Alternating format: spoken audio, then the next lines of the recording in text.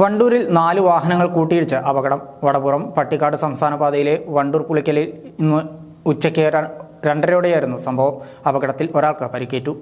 നിലമ്പൂർ ഭാഗത്തേക്ക് പോവുകയായിരുന്ന കാർ എതിർദിശയിൽ വരികയായിരുന്ന പിക്കപ്പ് വാനിലും ബൈക്കിലും ആണ് ഇടിച്ചത്. ഇതോടെ നിയന്ത്രണം വിട്ട പിക്കപ്പ് വാൻ കാറിന്റെ പിറകിലുണ്ടായിരുന്ന ഓട്ടോറിക്ഷയിൽ ഇടിച്ചു.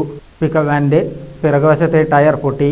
കാർ റോഡ് അരികിലെ ചതുപ്പിലേക്ക് തെന്നിമാറി ഓട്ടോറിക്ഷ മറിഞ്ഞെങ്കിലും ഡ്രൈവർ യാത്രക്കാർ എന്നിവർ പരിക്കുകളില്ലാതെ രക്ഷപ്പെട്ടു. ബൈക്ക് യാത്രക്കാരൻ തെറിച്ചു വീണു.